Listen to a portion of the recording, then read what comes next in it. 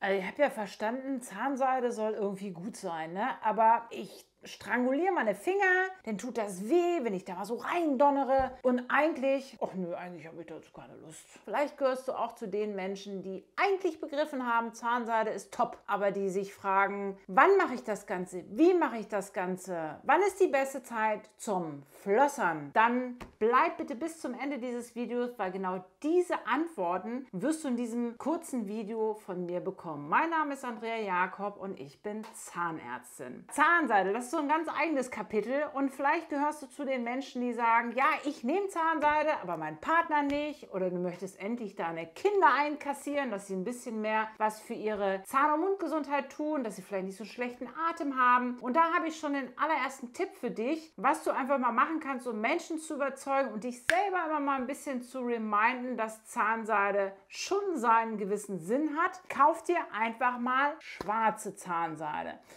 Ich habe schwarze Zahnseide vor gefühlt über zehn Jahren irgendwie das erste Mal entdeckt und dachte, was soll das denn jetzt wieder für so ein Gimmick sein? Ja, da ist Aktivkohle und sowas dran. Darum geht es aber gar nicht. Es geht einfach darum, wenn du schwarze Zahnseide benutzt und du machst das wirklich mal und dann nimmst du es, guckst der Realität ins Auge, weil das, was du zwischen deinen Zähnen hervorholst, wird in der Regel viel, viel heller sein als diese schwarze Zahnseide. Dann kannst du jeden davon überzeugen, überzeugen, der behauptet, nö, brauche ich nicht. Ich kann meine Zähne gut putzen. Weil am Ende des Tages ist es so, dass 40 Prozent, und ich finde, das ist echt schon richtig viel, 40 Prozent der Zahnoberfläche nicht gut erreichbar ist für deine Zahnbürste, egal welches Hightech-Teil du dir da gekauft hast. Das sind einfach die Bereiche, wo die Zahnbürste nicht hinkommt. Das heißt, ganz klar, der erste Fehler, den du machen kannst, ist, Zahnseide nicht zu benutzen und zu sagen, brauche ich nicht. Weil genau diese nicht geputzten Stellen sind natürlich die Schwachstelle deiner Zähne, die Angriffsflächen für Keime und Bakterien. Und es stellt sich immer wieder raus und es ist immer so, dass die meiste Karies einfach zwischen den Zähnen losgeht. Ein schlagendes Argument sollte auch sein, wenn du auf der einen Seite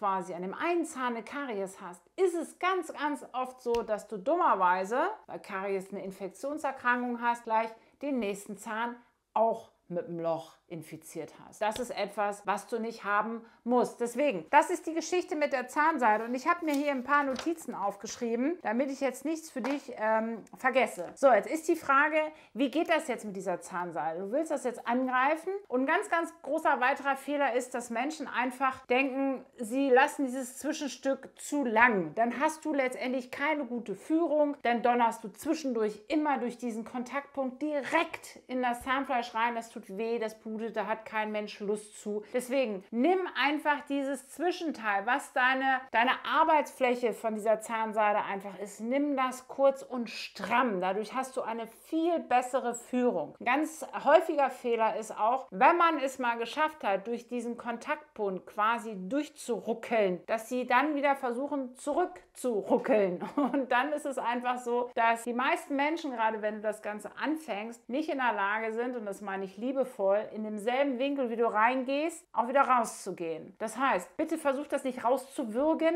sondern lass einfach eine Hand los. Das ist viel, viel einfacher. Ich zeige dir das in einer ganz kurzen Sequenz einfach mal. Und dann gehst du durch. Das ist erstmal der allererste Schritt, dass du dieses Klickgeräusch hast, dass du durch diesen Kontaktpunkt durchgehst, da erstmal diesen Kontaktpunkt reinigst. Und dann werden viele von euch sagen, ja, aber da muss man doch noch die Flächen und so. Ja, muss man. Aber ich verspreche dir eins, die wenigsten Menschen machen das richtig. Und es ist einfach so, dass du dir das visuell vorstellen musst, was da eigentlich passiert. Und dafür habe ich mal ganz kurz schon mal ein bisschen was für dich vorbereitet. Und ich hoffe, das kann man jetzt gut sehen. Und zwar möchte ich dir letztendlich Folgendes erklären. Die Zahnseide ist für die meisten Menschen erstmal extrem wichtig, den Kontaktpunkt zu reinigen. Das heißt, ich habe das hier mal aufgemalt. Hier ist ein Zahn, noch ein Zahn, noch ein Zahn. Und zwar, du siehst die diese Stelle, das ist der Bereich, der wichtig für die Zahnseide ist. Wenn du jetzt geübt bist und das täglich übst und in die Champions League möchtest, was die Zahnseide angeht, dann wirst du in der Lage sein, wenn du da durchruckelst, diese Fläche zu reinigen, ein bisschen bis unter das Zahnfleisch, geh da vielleicht zwei, dreimal drunter und dann auf der anderen Seite. Jetzt ist es aber so, dass viele Menschen diese Bewegung nicht manuell hinbekommen und das ist auch nicht zu judgen. Da müssen wir uns nicht drüber ein Urteil zu äh, erlauben, sondern dafür hat die Industrie einfach die Zwischenraumbürstchen erschaffen. Diese Zwischenraumbürstchen sind genau für diesen Bereich, dass sie einfach in diesem Bereich gut putzen. Jetzt könnte man ja sagen, naja, warum soll ich das denn nicht gleich damit machen? Ja, das ist eine gute Frage, aber diese Zwischenraumbürstchen reinigen nicht diesen Kontakt. Punkt. Da kommen sie auch nicht hin. Deswegen, ganz häufig bekomme ich immer die Frage, reicht denn nicht die, das Interdentalbürstchen. Nein, reicht es nicht. Und auf der anderen Seite kriege ich dann die Frage von sehr jungen Zuschauern. Ich komme mit der Zahnseide durch, aber die Zwischenraumbürstchen kriege ich einfach nicht durch. Ja, das ist richtig. Und auch ich habe, als ich jünger war, diese Zwischenraumbürstchen da nicht durchbekommen, weil einfach dein Gewebe so straff ist, dass das einfach nicht passt. Aber vielleicht in den nächsten Jahren. Sei da einfach wachsam und guck, wenn da so ein kleiner Bereich sich öffnet, kommst du damit besser durch durch. Ein weiteres Argument, was gerade bei den Backenzähnen, ich nehme das mal ganz kurz hier runter, bei den Backenzähnen einfach wichtig ist, wenn du an deinen Frontzähnen die Zahnseide so gut benutzen kannst, dass du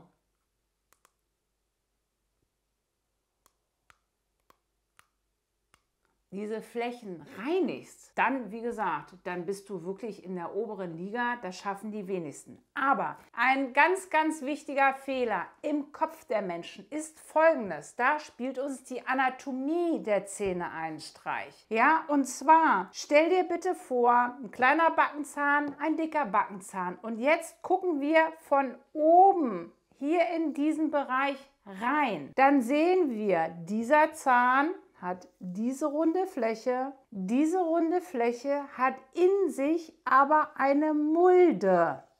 Und es ist technisch nicht machbar, dass du mit deiner Zahnseide dahin kommst. Und deswegen ist es so wichtig, dass du mit den Zwischenraumbürstchen, die sich hier aufspannen wie einen kleinen Schirm, dass du diese Bereiche richtig gut putzt. Und auch kleine Backenzähne haben kleine nierenförmige Einwölbung. Und das ist einfach mit der Zahnseide nicht machbar. Das könnte ich auch nicht. Jetzt ist die Frage, okay, wie oft soll ich das denn machen? Und das ist eine sehr enthusiastische Frage, wenn du vorher Zahnseide nie benutzt hast. Und da möchte ich dir einfach den Gedankenansatz geben, was nützt es dir? Du fängst heute an, jeden Tag Zahnseide zu benutzen und nach zwei Wochen hast du keinen Bock mehr. Das ist menschlich, ja, weil es einfach, das ist so ein bisschen wie du gehst ins Fitnessstudio und pumpst jeden Tag und dann hast du keine Lust mehr. Also wer am Anfang zu doll sich überschätzt, übertreibt, der hat am Ende keine Lust mehr. Und deswegen muss ich ganz ehrlich sagen, wenn du das schaffst, gratuliere ich dir. Das ist natürlich absolute Spitze. Aber um eine langfristige, wochenlange, Monate,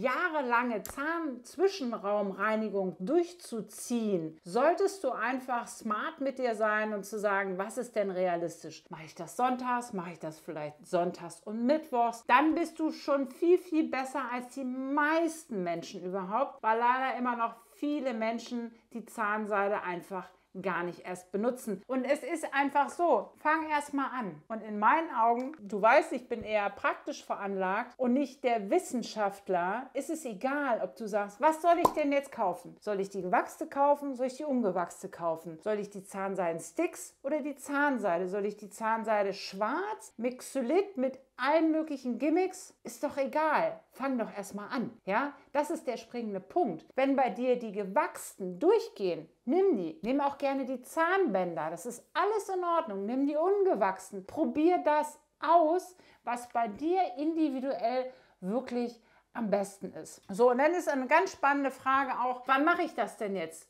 Vor dem Zähneputzen, nach dem Zähneputzen. Und das ist auch so eine Frage, so ähnlich wie, wie oft soll ich das benutzen? Morgens, mittags, abends am besten? Nein, da ist die Wissenschaft und auch die Ansicht der Zahnärzte tatsächlich so ein bisschen 50-50 gespalten. Mittlerweile ist es so, dass ich das auch gut finde, wenn die Menschen es vor dem Zähneputzen benutzen. Aber auch ich mache das mal so und mal so. Also fühl dich frei. Es gibt keine Regeln, die sagen, wenn du es nach dem Zähneputzen machst, du, du, du, sondern ich beglückwünsche dich, dass du sie überhaupt benutzt. Das wird, glaube ich, recht deutlich in diesem Video. Wenn du da auch noch mal wissen möchtest, wie wirklich das Schritt für Schritt mit den Fingern und so geht, dann verlinke ich dir hier einfach mal ein Video, das habe ich vor längerer Zeit aufgenommen. Das ist eine Schritt für Schritt Anleitung, wo ich dir wirklich ganz genau erkläre, wie das Ganze wirklich funktioniert, ohne dass du deine Finger strangulierst. Ja, jetzt ist noch die ganz spannende Frage, wenn du jetzt wirklich sagst, ich will alles richtig machen, ich will das einfach brutalst durchziehen, weil ich habe vielleicht meine Zähne sanieren lassen und es soll jetzt wirklich alles gut sein. Wann ist denn jetzt wirklich die beste Zeit zum Flossern? Und ich feiere mittlerweile das Wort Flossern. Es kommt aus dem Amerikanischen ganz klar, weil wann soll ich Zahnseide benutzen? Das klingt auch mega unsexy. Von daher, wann ist die beste Zeit zum Flossern? Ganz klar, jeden Tag vor dem, äh, vor dem Zähneputzen und am besten abends. Warum? Weil du dann nichts mehr isst, weil dann einfach alles schön sauber ist, weil dann deine ganze deine Muskelaktivität, Zunge, Wange, was ja auch deine Zähne reinigt, deine Speichelproduktion geht runter. Das ist die beste Zeit zum Flossern und wenn du es wirklich jeden Tag durchziehst, versuch es bitte wirklich auch dann über Tag zur selben Zeit zu machen, weil wenn du an dem einen Tag morgens flosserst und am nächsten Tag erst abends, hat die ähm, Kolonie der Keime und Bakterien noch mehr Zeit, um noch mehr Schichten aufzubauen. Das heißt, wenn du dich entscheidest, jeden Tag zu flossern, mach es bitte wirklich ganz stumpf, immer zur selben Uhrzeit. Und wenn du das alles durchgezogen hast und sagst, oh, ich möchte im Sommer jetzt endlich wieder ein strahlend weißes Lächeln, da gibt es so viele unterschiedliche Meinungen zu dem Bleaching, gibt eine richtige Bleaching-Lüge vielleicht und du mehr darüber wissen willst, klick jetzt schnell auf dieses Video, wo ich diese Lüge aufdecke. Bis dahin.